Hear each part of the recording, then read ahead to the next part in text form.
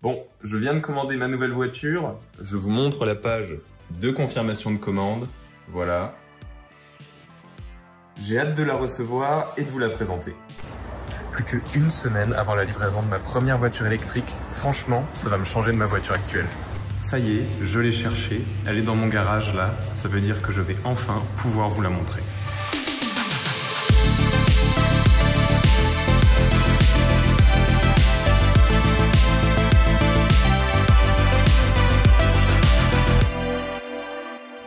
Bonjour à tous et bienvenue sur Automobile Propre. Pour commencer, laissez-moi me présenter. Je suis déjà apparu dans plus d'une dizaine de vidéos sur la chaîne YouTube d'Automobile Propre et je n'ai toujours pas eu l'occasion de vous parler de moi. Je m'appelle Max et j'ai rejoint Automobile Propre au début de l'année 2021 en tant que vidéaste, présentateur et monteur vidéo. Cependant, je n'ai pas toujours été devant la caméra.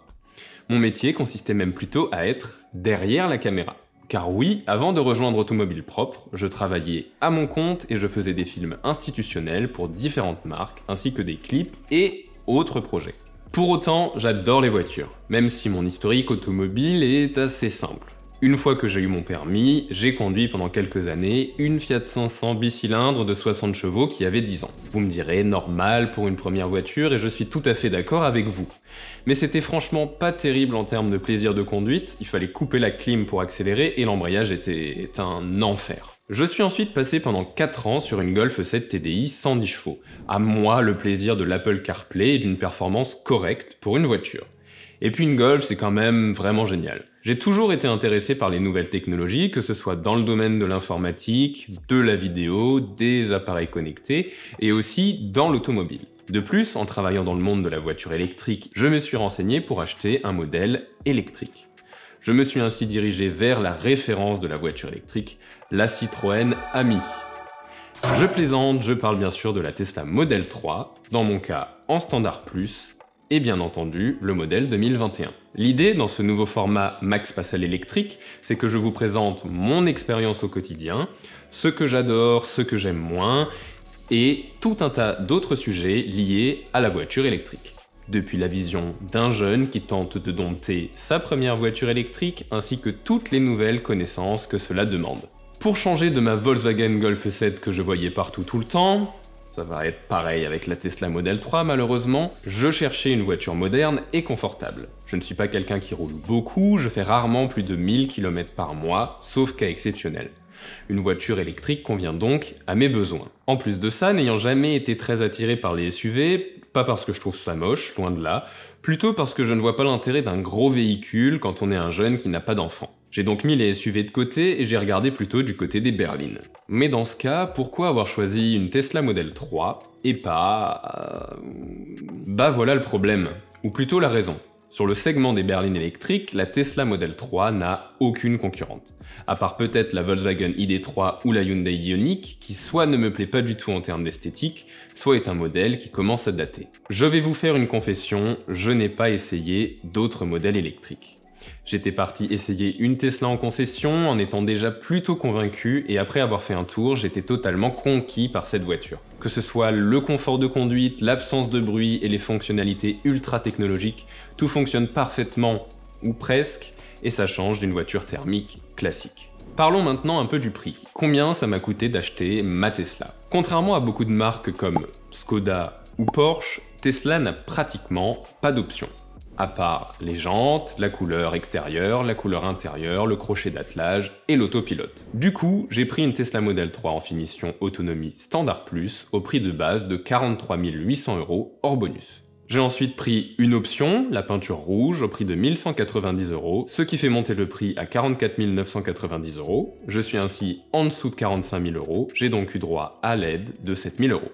Petite parenthèse, comme vous le savez sûrement, lorsque l'on achète une voiture électrique, on a le droit à des aides gouvernementales. Jusqu'en juin 2021, pour l'achat d'une voiture de moins de 45 000 euros, on avait le droit à 7 000 euros d'aide.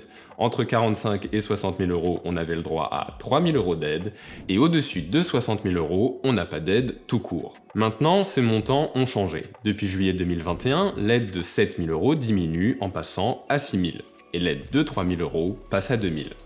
Fin de la parenthèse. La voiture m'a donc coûté 37 990 euros, bonus déduit. Vous aurez sans doute remarqué que toutes les options chez Tesla coûtent 1190 euros, à l'exception du pilotage automatique. Grâce à cela, vous avez la possibilité de prendre une option et quand même avoir droit à l'aide maximale. À ce propos, je suis très content de l'intérieur noir, mais j'aurais peut-être pris l'intérieur blanc si ça ne faisait pas sauter l'aide maximale. Car pour l'avoir vu au moment du tournage de la vidéo sur la Tesla Model 3 Performance, c'est plutôt joli et de ce que j'ai entendu, ça vieillit plutôt bien.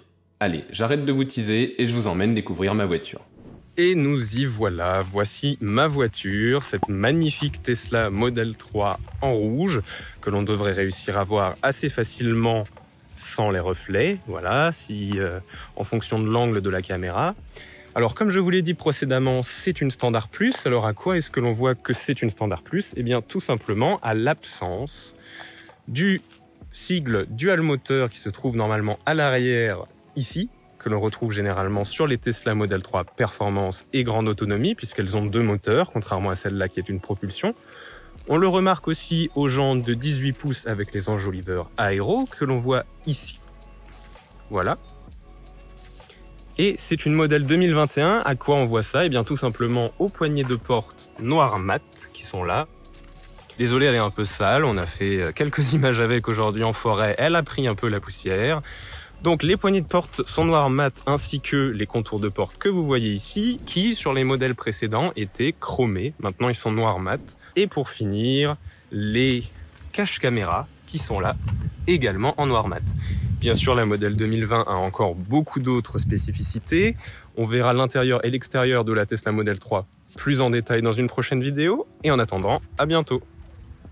Voilà, c'est la fin de ce premier épisode de notre nouveau format Max Passal électrique. Si vous débutez dans le monde de l'électrique, je vous recommande d'aller jeter un œil à notre série de vidéos La Minute Branchée, dans laquelle vous apprendrez tout ce qu'il faut savoir pour maîtriser votre voiture électrique ainsi que tous les nouveaux termes qui vont avec. Si cette vidéo vous a plu, n'hésitez pas à vous abonner et à activer les notifications. Si vous avez des questions sur ma voiture, que vous souhaitez que je traite un sujet en particulier, n'hésitez pas à me le dire dans les commentaires. N'oubliez pas le pouce en l'air et je vous dis à bientôt sur Automobile Propre. Ciao